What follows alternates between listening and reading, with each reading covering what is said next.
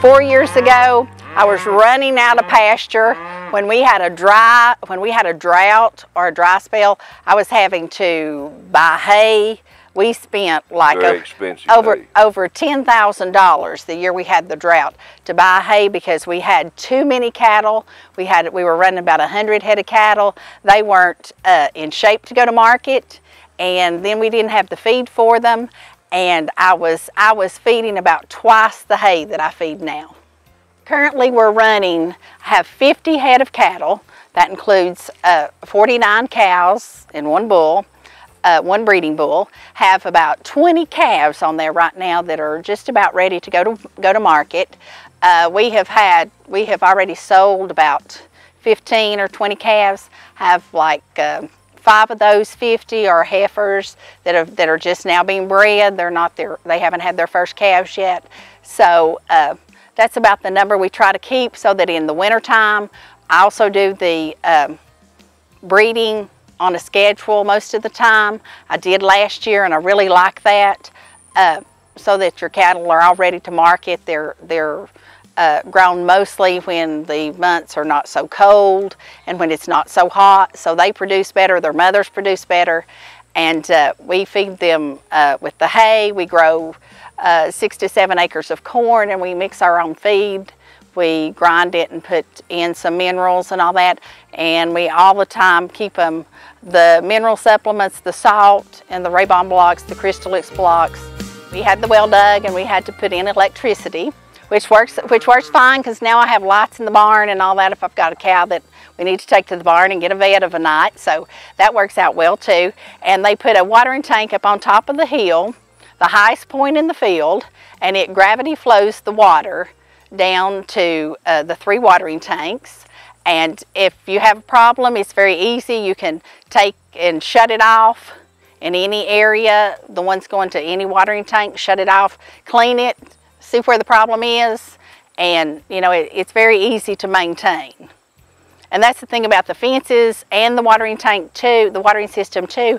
You don't, you're not completely shut down if you have a problem with one area. Before we instituted the rotational grazing and all that, the field was just one big field, and they drank Two out ponds. and they drank out of the pond, ponds. actually. Yeah, two ponds. One was very polluted, and so we we were watering from two ponds, and so now we have a well dug and we have three watering tanks and these watering tanks are positioned so that you can actually water the cattle from two different paddocks it goes on each side and you can water them from two different paddocks the cows drink a lot more water they don't have to travel as far to get a drink of water That's, that's one of the main things. They don't have to walk as far to get water. and they maintain their weight better.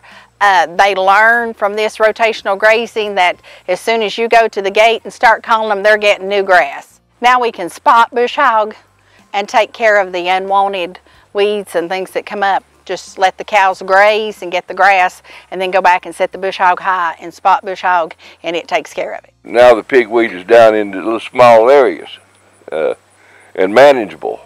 Uh, but where it used used to wasn't, unless you mowed the whole entire field, it was not manageable. When we put in the three waterers, like I said earlier, one waterer waters can water two different paddocks. You can water from two different paddocks on the one waterer. So we have the field cut into six different paddocks and we rotate. You know, some at first we started out leaving them in for two weeks at a time and now we've gone to rotating. They might stay a week, they might stay three or four days. You know, I just make sure, watch the grass and make sure it doesn't get too low.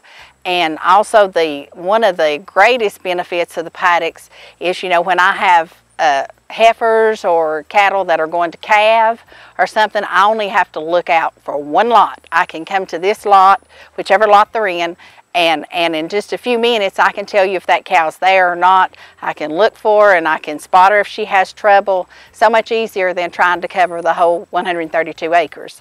And the fencing is with 15,000 volts, I think is the most that I've had going through here. It's also cut down on predators such as coyotes, uh, dogs, wild dogs getting in here. And one time we had a real problem with that, us and all of our neighbors did.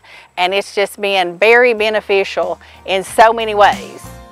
use the step-in post and, and just in a matter of a half hour or less, you can just make you a temporary fence around them. And once they've gotten used to this electric fence, they respect the temporary fence because they think they're going to get hit. And then you just, you utilize your pasture, they will do better weed control.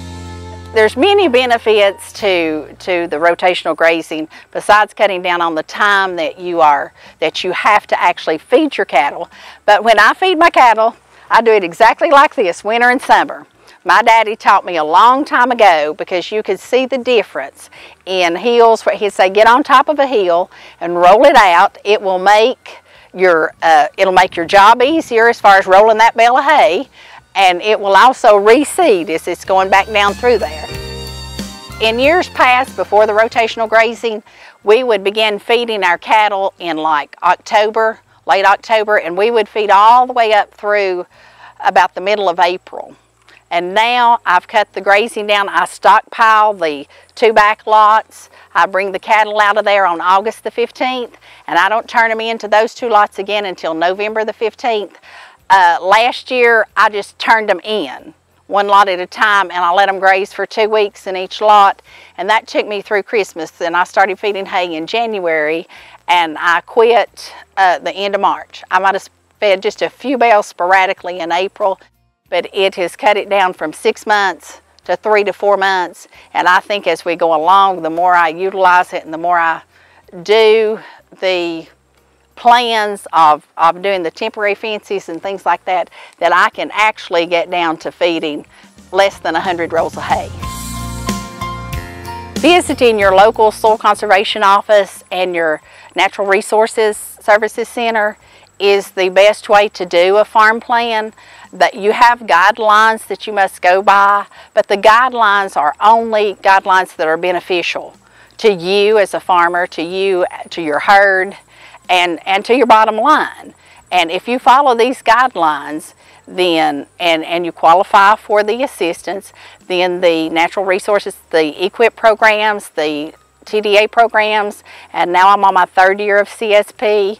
And you know, I have a very little investment on my own, maybe 15, probably 1500 to $2,000 investment on my own on all these projects and I didn't do and I didn't do uh, the labor on them either. A lot of people can save, you know, a lot of men uh, they will save some of the some of the costs because they'll do their own labor. But I couldn't do the fencing and things myself, so everything was done was hired to be done by contractors.